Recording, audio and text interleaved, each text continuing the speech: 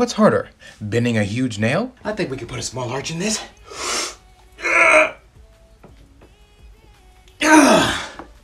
Or making a circle out of this piece of steel.